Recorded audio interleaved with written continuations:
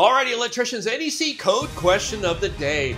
Let's talk about grounding electrode conductors, but first, here is the answer to the last question of the day. A dwelling hallway must have a lighting outlet controlled by a listed wall switch. Now that's straight out of the NEC 210.70A21. No exceptions, no guessing, hallways need light. And now for today's question.